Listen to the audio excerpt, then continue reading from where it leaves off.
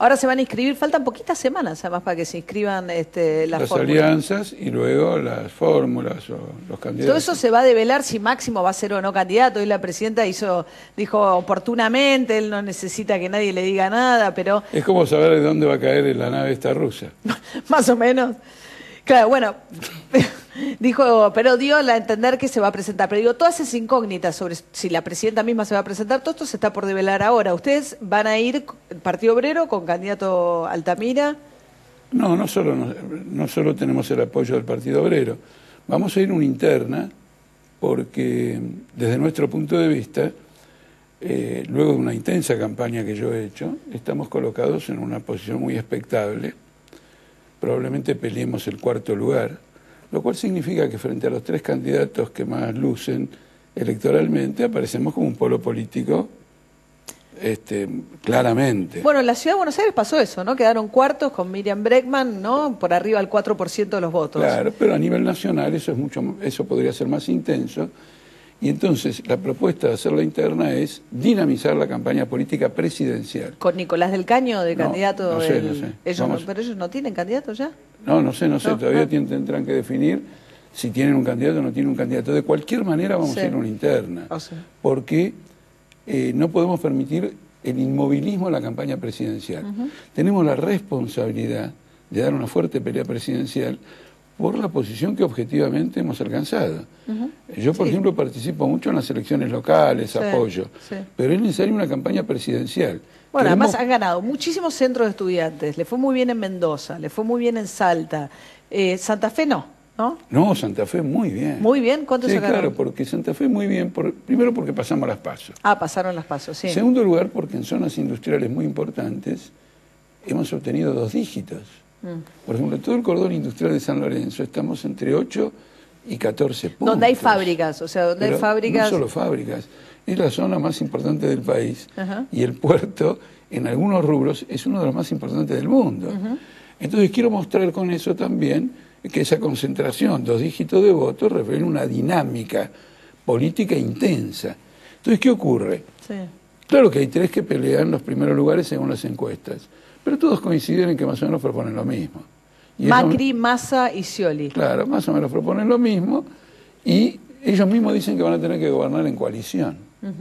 Bueno, pero eso por las mayorías del Congreso también, porque No ninguno alcanza. tendría No, no alcanza. mayoría de Congreso. Bueno, pero no alcanza. Tenés que tener acuerdos, tenés que tener convergencias de política económica para admitir una coalición.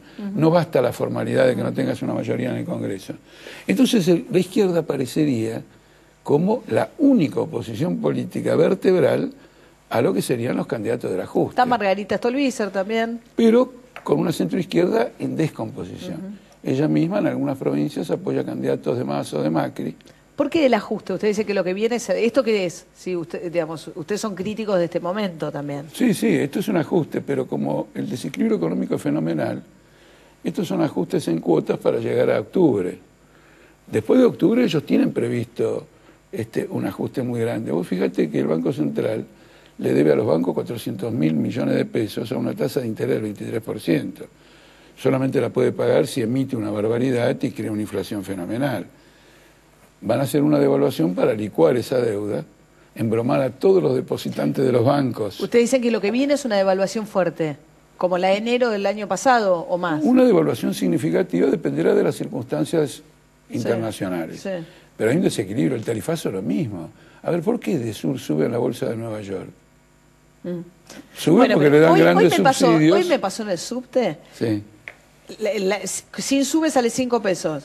Vino a tocar el saxo alguien al vagón y le daban cinco pesos. Entonces yo dije, ¿cómo puede ser que estemos pagando de viaje de transporte lo mismo que... Está bien, eh, pero no le pagas el saxo todos los viajes. No, no, lo que quiero decir es el valor de los cinco, que el, el transporte también, eh, Pero- el taxi sigue subiendo. No hablo del subte particularmente versus No, colectivo, no, porque el subte sea más que es muy barato, subte, decís que es barato. Me parece que, sobre todo si uno habla con la gente del interior, alguien en Santa Fe, en Mar del Plata, ¿les parece una injusticia enorme que los del área metropolitana... Ojo, yo creo que tiene que haber subsidios, sobre todo para el que toma tres transportes para ir a trabajar Pero y que el- pague uno solo.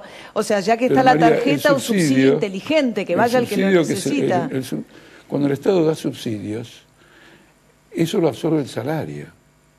Yo esto lo he explicado infinita de cantidad Eso es lo que dice veces. Cristina Kirchner. Cristina Kirchner. No, Cristina Kirchner Lo que una dice- vez, Sí, una vez, sí. tomando lo que nosotros venimos explicando hace mucho tiempo, y no es la primera vez que toma lo Claro, que ella, nosotros ella decimos. dijo que el subsidio es una forma de poner plata en el bolsillo de los trabajadores. No, no, no. El subsidio es una forma de poner plata en el bolsillo de los patrones. Sí. Por una razón elemental. Cuando vos tenés un subsidio, la tarifa es baja, del transporte o de la luz. Sí. Eso baja el promedio de la canasta familiar.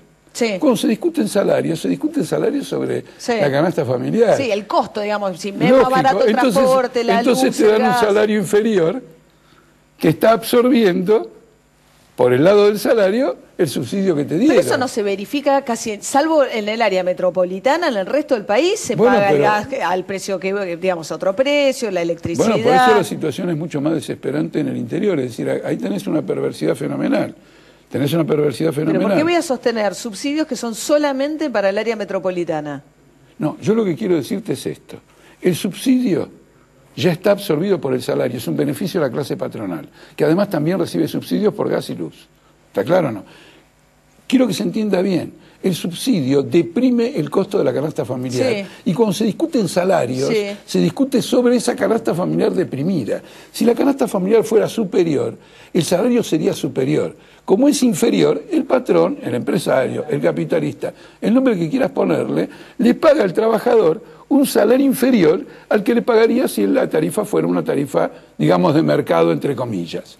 Entonces el que sale beneficiado es el capitalista que paga salarios inferiores y él se queda con la totalidad del subsidio. Lo que una vez Cristina Kirchner dijo en un discurso es que efectivamente teníamos razón nosotros, que el subsidio se lo quedan los grupos empresariales en forma directa por lo que reciben directamente por el gas y, Sí. y- y lo que consumen, y por esta transferencia que se produce al negociar una, una, una convención colectiva de trabajo. Y Ahora paritaria y lo dijo porque se ese día se enojó con los empresarios. Ahora viene una paritaria bastante complicada, ¿no? Eh, la UOM, Antonio Caló, decretó un paro de 36 horas, primero fue asamblea, después lo decretó, después le decretaron una conciliación obligatoria, rápidamente la aceptaron por 10 días, como que daría la sensación que están estirando la negociación, pero encima Caló dice, yo no tengo nada que ver con ganancias, dice, el, el núcleo del problema que yo tengo es que quiero un salario básico bolsillo de 7.500 pesos para los trabajadores metalúrgicos. Bueno, pero te das cuenta que ese, ese 7.500 pesos es ridículo. La canasta familiar es de 11.000. 11.000. Si un trabajador, como mínimo, no llega a la canasta familiar, es un pobre. Entonces, ¿dónde está el derecho al trabajo? El derecho al trabajo resulta una, una, una ficción. Pero usted, digamos, Cristina Kirchner se la pasa hablando de que volvieron las paritarias, que hay paritarias, como una gran reivindicación. De hecho, si uno ve lo que pasó con la evolución de los salarios, los que están altamente sindicalizados se defendieron mejor frente a la inflación que los trabajadores no sindicalizados, bueno, el ¿no? 35% no está sindicalizado. 35. Lógico, porque son trabajadores precarios. Si estuvieran sindicalizados, estarían amparados por un convenio colectivo, no estarían precarizados. Están precarizados, el 35%. ¿Y ustedes como izquierda qué piensan de ganancias? Pues es interesante. O sea, un salario alto tiene que pagar... eh, Ningún impuesto? salario tiene que pagar ganancias. Aunque sea un salario, un gerente de una... No, no, porque lo- que el, el- el gerente no cobra un salario. No el, el tema es el siguiente. Es, en, el, en el mundo se llama el impuesto a los altos ingresos, ¿no? Es, eh, al- no, pero al- es una, es una simulación, porque no todos los ingresos son iguales. El gerente recibe un ingreso en función de los beneficios que tiene la empresa. La determinación del salario es independiente de los beneficios. Por ejemplo, si una empresa está perdiendo plata o está ganando muchísimo, el salario está establecido por la relación de fuerzas entre los trabajadores y los empresarios en un momento determinado. En cambio, los intereses que se pagan a los bancos, la Sí. Eh, los dividendos, todo eso es ganancia. Pero está raro, es raro que la izquierda, digamos, uno de los, de los impuestos más progresivos que se supone es a los altos ingresos. Digo, los países A escandinavos, etcétera, tienen eso. Tiene y ustedes ser. están diciendo que no. No, que sí, claro. Pero ¿y qué es alto ingreso en la Argentina hoy? El que no pertenece a un trabajador sindicalizado, un trabajador amparado por un convenio colectivo de trabajo. Entonces, Aunque es- sea un piloto de avión que gana más de parte- 40 claro, esa- un petrolero lógico. jerárquico. Pero es que un piloto de avión tiene el derecho a ganar lo que gana y un petrolero también, porque hay que ir a ver cómo trabajan los petroleros, hay que ir a ver cómo trabajan los mineros. O sea, en Son trabajos caso cree- insalubres. no, está bien, digo, pero usted- el concepto es el siguiente, el salario es una determinación independiente de la ganancia. Entonces, el trabajador contribuye de una forma brutal en este país. ¿Quién paga el IVA? Los trabajadores, Sí, 21%. sobre todo los que, que cargan más, los que menos ganan. No, eh, eh, se ha logrado que hasta los desocupados paguen IVA. ¿Te parece impresionante? Es impresionante porque está desocupado, consume, Sí, lo hace IVA. con la plata de la familia. Entonces han 21%. logrado que alguien que no gana nada Sí. pague IVA. Bueno, pero iba ahí en todos lados, más o menos hay. El tema es qué peso tiene en la recaudación No, no, total. no, no, hay en todos lados porque hay una misma política económica en todos lados de hacer que la carga impositiva La lleve el recaiga al trabajador. Sí. Salvo, Porque bueno, el Vilma- IVA no es, permíteme María, Sí. el IVA es una novedad en, el- en la legislación impositiva, tiene tres décadas, un cuarto de siglo. Entonces, tiene que ver con toda esta política neoliberal de trasladar la carga impositiva sobre los trabajadores y liberar a los grupos empresarios, capitalistas, como quiera llamarlos, liberarlos fundamentalmente de los impuestos. Esto es permanente en la literatura financiera en este momento. Bien. Paga IVA, paga el impuesto este al salario, paga ingresos brutos. La contribución para la jubilación, ¿quién la paga? El trabajador. Ahora, la jubilación es un salario diferido. ¿Dónde se ha visto que un trabajador pague su salario? Bien. Bueno, Altamira se mete en la discusión presidencial, ¿eh? Se irá a anotar ahí. a No, darle- estamos metidos fuertemente. Está- no, bueno, sí, sí, de hecho, estamos piso- hablando de eso. Estamos en un piso importante. No, pero digo en la presidencial también. En la presidencial, Sí, claro. no, no, estamos en un piso, en, la- en los sondeos que Bien, veo, sí. no bajamos del 5%. Bueno. Eso quiere decir que la- los votos de la elección anterior los recogemos plenamente. A la anterior fue legislativa, los recogemos. Tenemos que dar una dinámica muy fuerte, porque quiero concluir Sí. con esto. La izquierda debe en esta elección polarizar con los tres jinetes del ajuste. Muchas Tiene gracias, dejamos ahí. Muchas gracias, ¿eh? Ya venimos.